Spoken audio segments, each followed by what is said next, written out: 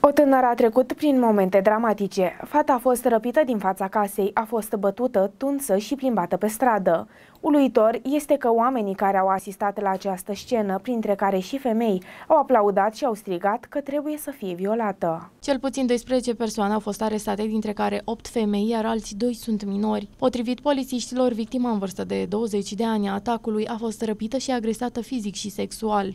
Activiștii spun că acest caz demonstrează amploarea misoginismului în India, unde femeile sunt învățate să susțină structurile patriarhale și se tem că violența împotriva femeilor se va agrava pe măsură ce crește sprijinul pentru grupurile politice de extremă dreaptă care promovează valorile tradiționale patriarhale. Sora victimei a declarat pentru CNN că tânăra care este căsătorită a fost atacată de rudele unui adolescent, despre care se spune că s-a sinucis după ce sora ei a respins avansurile.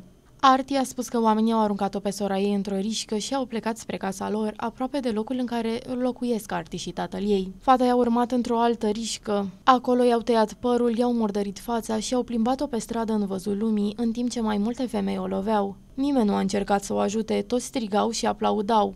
Indignarea publică a adus la legi mult mai stricte în privința violului, dar activiștii spun că acestea au avut un impact restrâns în combaterea agresiunii sociale, în condițiile în care India a fost clasată drept cel mai periculos loc din lume pentru a fi femeie, într-un sondaj din anul 2018.